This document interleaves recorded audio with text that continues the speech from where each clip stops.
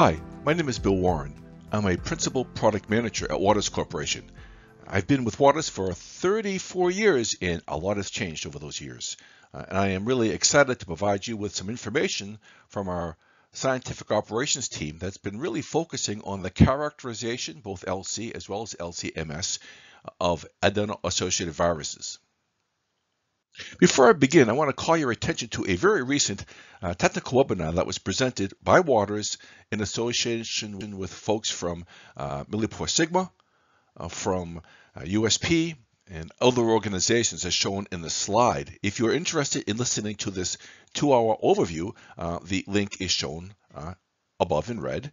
And today I'm going to primarily give you in 30 minutes kind of the highlights of what Dr. Weibin Chen had presented uh, from the scientific operations team at Waters, talking about some of the innovative ways we have been able to characterize AAVs.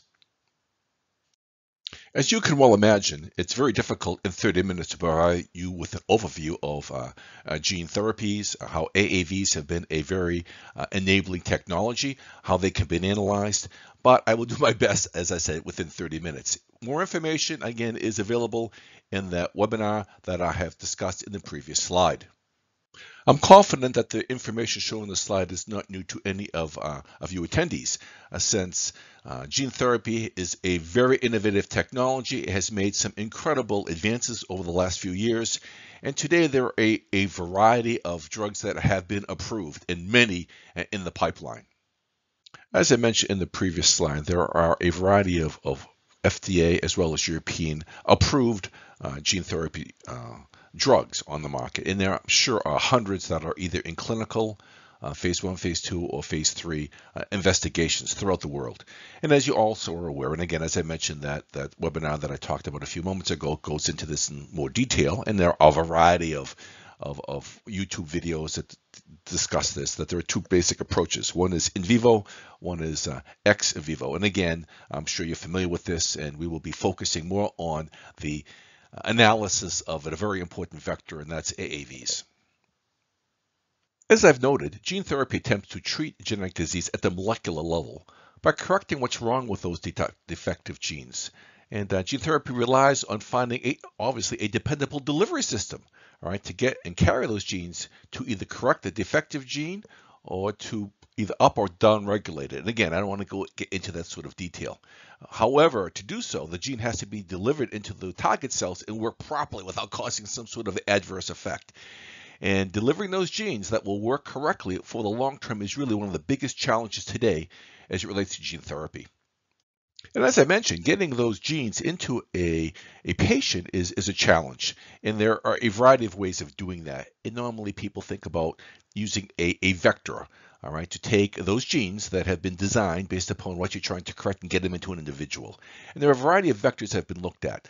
Some of these are retroviruses, adeno-associated viruses, a whole series of things. And again, you have to make sure that that vector can effectively take the gene of interest into the cells of the individual, uh, be able to express that uh, nucleic acid, however, not cause adverse immunogenic responses, which has been the case with some adenoviruses, not cause malignancies, which is a concern if using retroviruses. So again, there are a variety of investigations ongoing to determine the best, the best sort of vector to take a gene into a, a defective cell.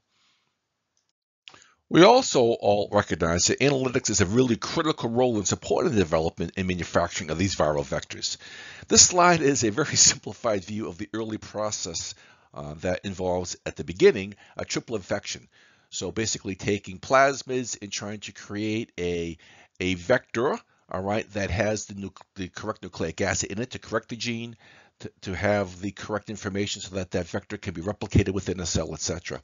Once that's done, then you have to obviously manufacture sufficient amounts of that vector, all right? You have to purify it, make sure you remove the purification, uh, the, the, the, make sure you remove the the uh, undesirable components from just the vector. Formulation is required. You have to make sure that the formulation is stable and then clinical studies. So there are a lot of clinical testing done throughout this process.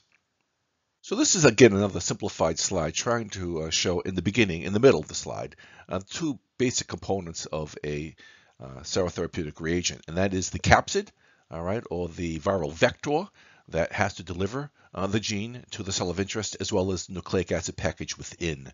And there's a variety of analyses that have to be performed in order to create and to be able to create a, a, reagent that is effective and one that will pass phase one, two, three clinicals. You have to look at the identity of the nucleic acid. You have to look at the capsid. You have to characterize uh, the titer of that, the potency, uh, how well will it be expressed in the cell line. And again, there are complete seminars on this particular area. And to the right are some of the technologies, and we're going to be talking about those uh, used to characterize um, the viral vector. And in particular, we're going to be talking about some LC techniques and LC-MS to help characterize these vectors. This detailed slide provides you with a little more depth as to the sorts of analyses and analytical challenges there are in developing effective gene therapeutic products. And as I said, there's the aspect of looking at the vector, identity, purity, stability, potency. There's also CMP uh, initiatives that have to be considered. And again, there are entire workshops and discussion and team meetings on this whole variety of, of challenges because these are really innovative drugs. And at this point, a lot of the regulatory agencies really are working with, with scientists and companies to develop what would be appropriate analytical methods to make sure that these reagents are safe and effective. So as I showed in a few slides previous to this uh, to, to, slide 11, uh, there are a variety of different vectors that have been considered to be used uh, to deliver uh, genes for therapeutic uh, uh, purposes. and the one that we're going to be talking about today, which is seems to be one that is quite popular, is adeno-associated viruses. There's a variety of reasons for that. One is the fact that it is not immunogenic, all right, which would be an issue. And that's what some of the concerns were initially with cell therapies. They were using adenovirus and they were getting incredibly uh, strong immune responses to that virus and cytokine releases. And in fact, I think one of the first individuals who was treated with a cell therapeutic using adenoviruses succumbed to the fact of the incredible uh, undesirable immune response. So long story short, AAVs are, are being uh, used today. We're going to be talking about those. But let's take a look at an AAV and let's take a look in the slide to the far left, and that's a monoclonal antibody. And I think everybody's very familiar with them. Their molecular weight is around 150,000 Daltons.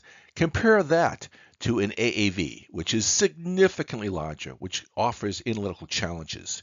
Uh, AAVs primarily consist of about 60 different subunit proteins that make the icosahedral uh, capsid. Uh, there is a single um, amino acid uh, change can dr- dramatically affect, again, a single amino acid change in that capsid protein can really affect its biological activity.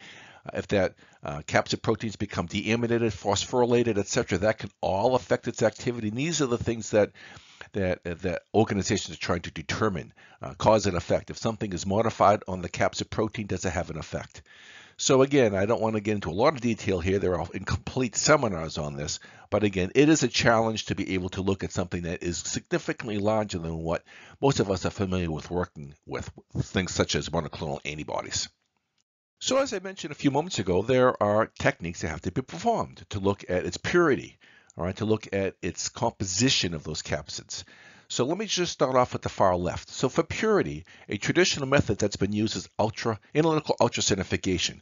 It's rather laborious. You're going to be separating the again, I should have said that sometimes the challenge is that you can you can manufacture capsids such as AAV, but the challenge is to determine whether those capsids have the the desired single-stranded nucleic acid package within. So you sometimes have a population of full and empty capsids. So one way traditionally to do that uh, to look at the degree of full versus empty capsids is to utilize ion exchange chromatography or ultracentrifugation. That's the second one down. Another challenge is if those AAVs have aggregated, that may not be desirable. All right. So again, ultracentrifugation has been a technique to look at that, but analytical ultracentrifugation is not a, a relatively simple process to do. It's relatively low throughput. It does require a certain degree of expertise on the on the analyst uh, side to be able to interpret and run and get uh, correct data. So again, we'll be talking about using size exclusion chromatography to be able to look at aggregated versus um, non-aggregated plasmids. Purity, uh, I think all of us in the lab at one time or another have run SDS page gels, and certainly uh, those can be used to look at AAVs.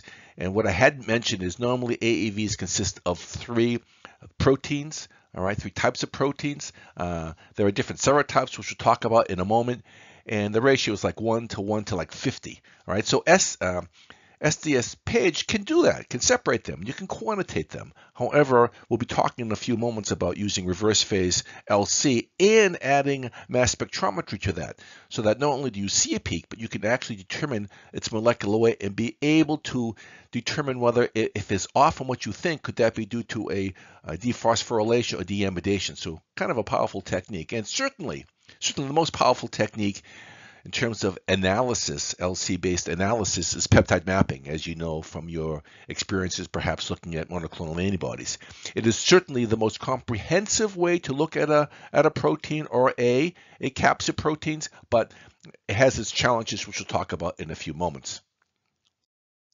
So Waters has been uh, involved in uh, size exclusion chromatography for, for many years, all right? And most recently, we've been developing chemistries and columns to accurately look at monoclonal antibody aggregates, monomers, and fragments. And again, we have complete topics and seminars on that topic. But however, uh, one of our chief uh, consulting chemists uh, about a year ago asked himself, well, could you use SCC to look at something that is re really larger than an antibody, an AAV? And uh, I'm really excited to show you some of the results that he's generated.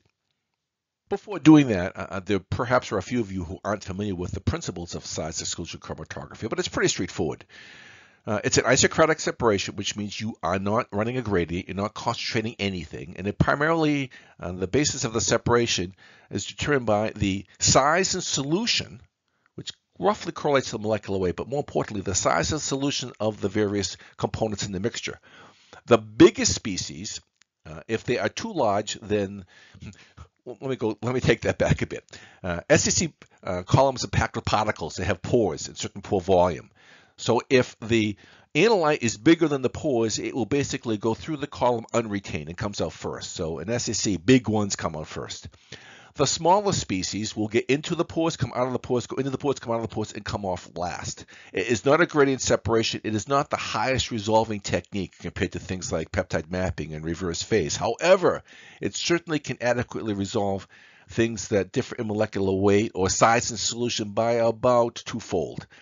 And this technique is something that, again, Dr. Kosa thought could be do, use it to look at AAVs. And I have some exciting data to show with you. Remember, ago, I said that SEC columns are packed with particles, and those particles have different pores. So if you look at the top left, you'll see, uh, in theory, uh, um, scanning EMs of, of four different SEC particles that we've generated at Waters. All right, 300 angstrom, 500 angstrom, that's the average pore size, 800 and 1,000 angstrom. And when we see 1,000 angstrom, it's basically determined by looking at at mercury infusion. And again, it's an analytical technique that can actually determine what the average pore volume, oh, sorry, pore size is. All right.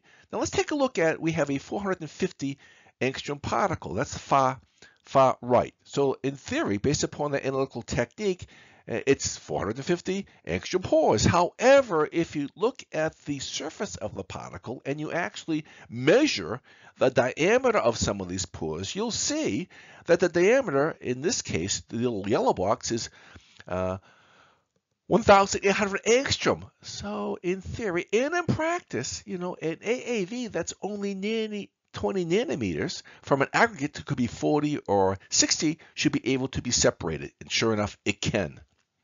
So that's what we show in this slide. So we've taken one of the Waters uh, 450 angstrom pore size SEC columns, a 4.6 by 30 centimeter. We've basically injected the AAV onto the column. Remember, the big ones come out first.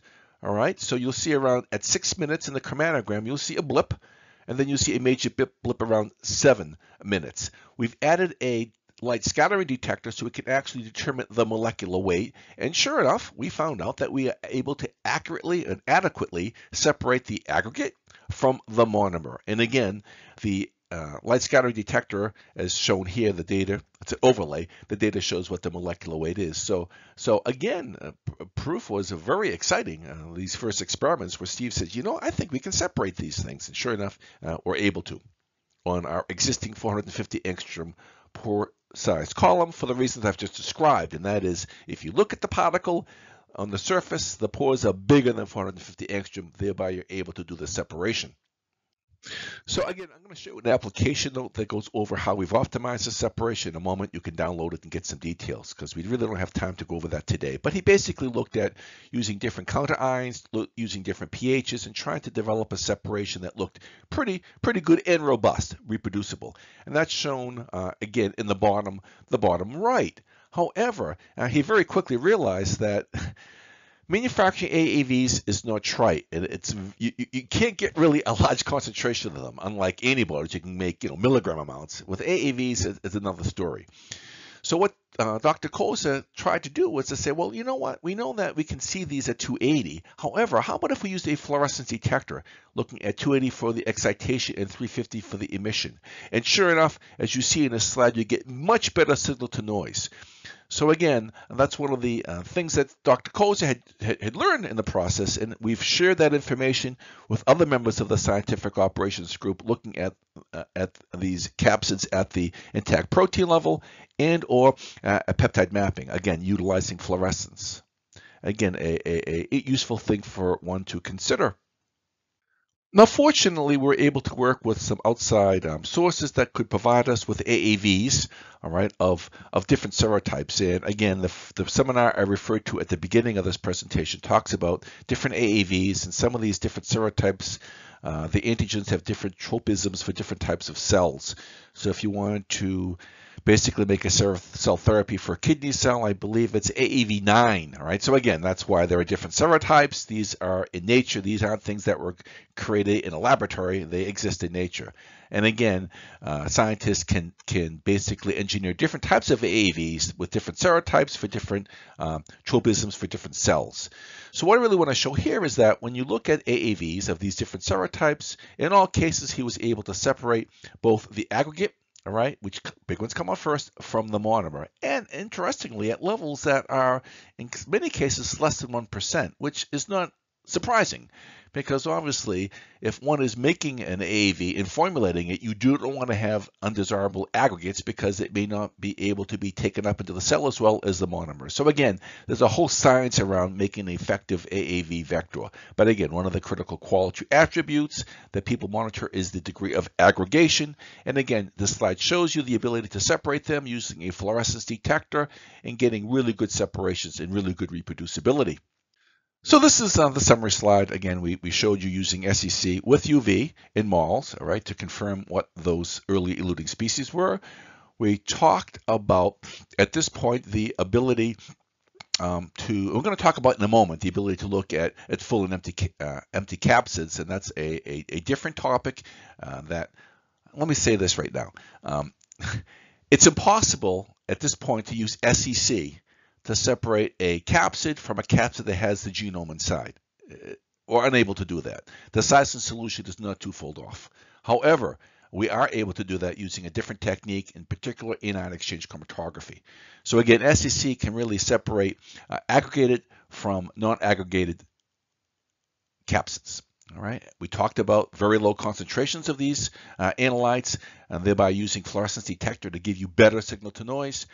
And what's shown in this slide, which I didn't mention, is that you know Dr. Koza did a lot of work looking at 1.7 micron particles, 2.5, 3.5, and we found that the most robust column for this separation is to use a 3.5 micron particle, which we have available. Again, we have the XBridge based BEH 450 and 1.7, right? 2.5, 3.5. Again, we are recommending at this point use of a 3.5 particle in those SEC columns.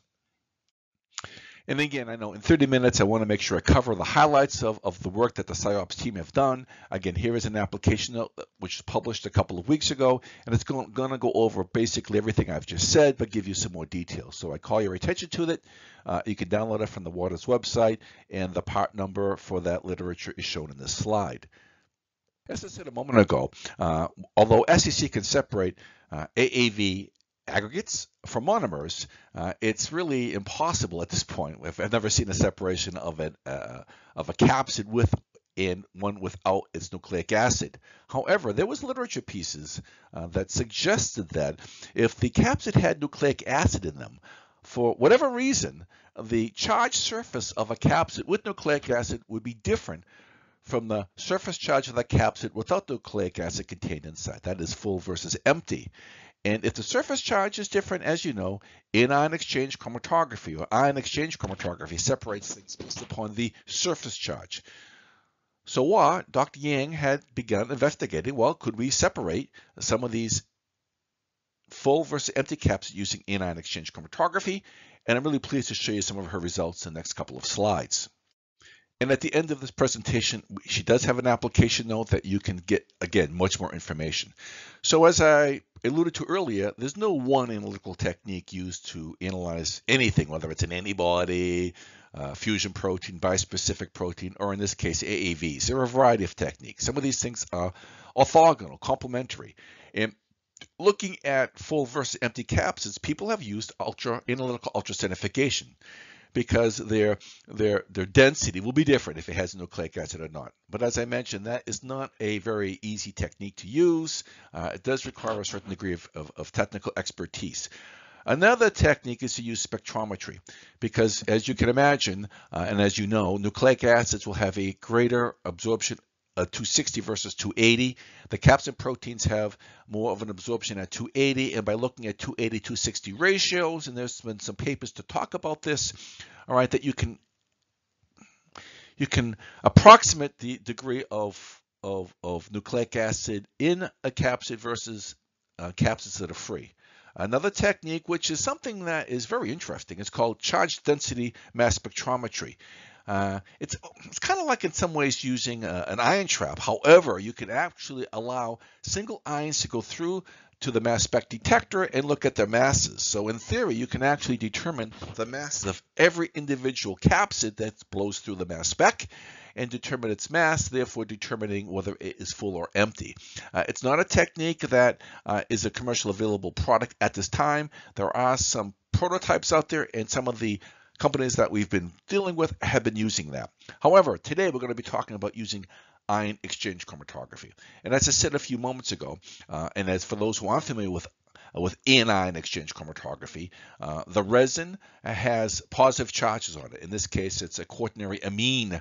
All right, so a full capsid, as shown in this slide, will have maybe more negative charges because of nucleic acids, the phosphates uh, within the nucleotides within the capsid. Some of those evidently uh, result in the surface being slightly more negatively charged than an empty capsid, and therefore you can separate them based upon the differences in surface charges using a gradient of either increasing salt, pH, etc. In this case, we just use a gradient of increasing salt concentration. All right, and the far right basically shows you uh, some of the examples. And again, as Dr. Koza showed, we've looked at using both UV detection as well as fluorescence. We get much better to noise with fluorescent, but again, there are two options for people to consider using. So again, thanks to a couple of our collaborating companies, we were able to get uh, what they believed were empty capsids, full capsids, and we were able to create a mixture of the two and basically separating on our protein pack high-res Q column. It's a solid core particle, surface coating, very high resolution, and the conditions are shown here. And sure enough, uh, she's able to separate the empty versus the full capsids utilizing a relatively straightforward and simple procedure. And what's nice about uh, liquid chromatography is you can get really nice and reproducible quantitation.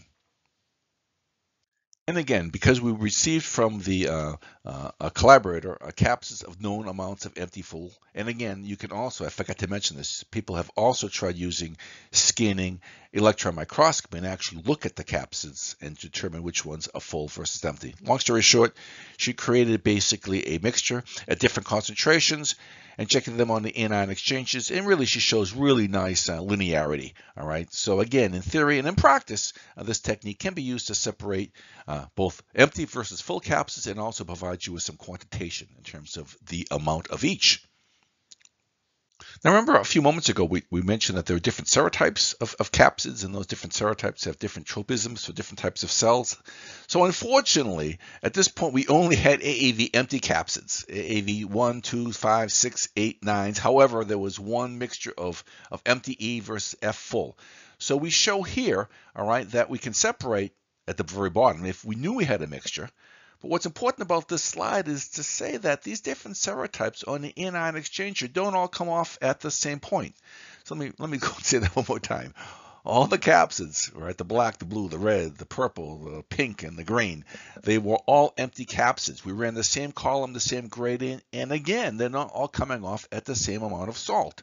And that suggests that the various serotypes have different degrees of, of amino acids, different compositions.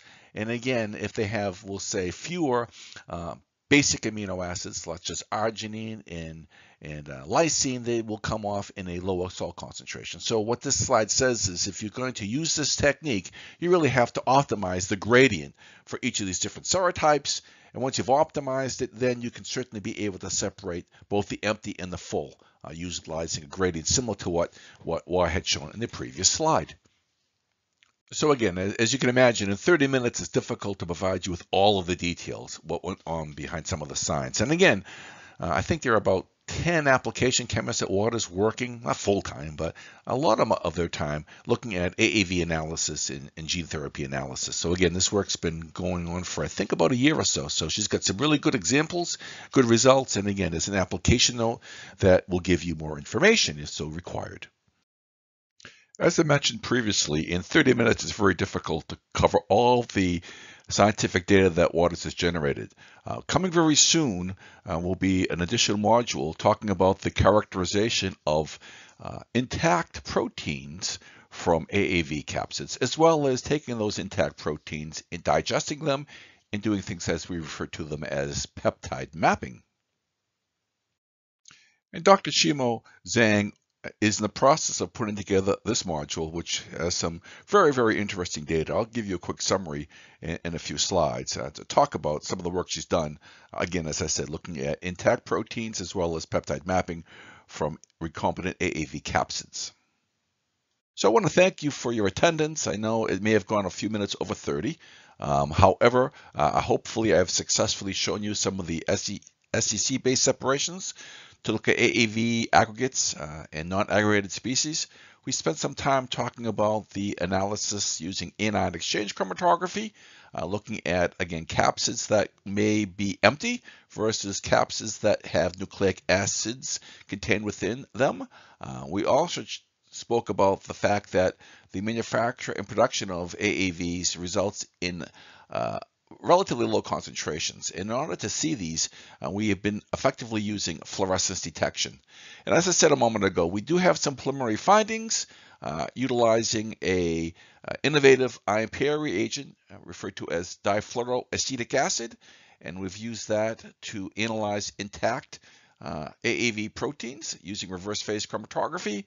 And as well, we've been doing some very, very interesting peptide mapping. And again, there are preliminary findings available. If you want inf more information, uh, feel free to contact us.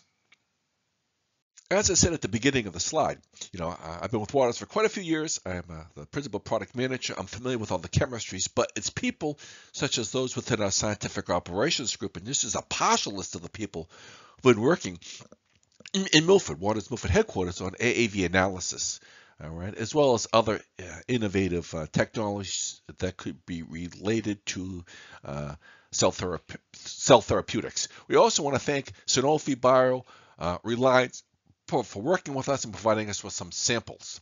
So hopefully I've, I've uh, provided you with a, an overview of, of, what we have done and some of the things we hope to do. We hope you found this presentation uh, interesting. And again, if you have any questions, feel free to contact me and I will certainly and put you in contact with the appropriate scientific person to answer a question that I would admit at this point I probably would not be technically able to answer. So again, thank you for your attention and have a great day. Stay safe.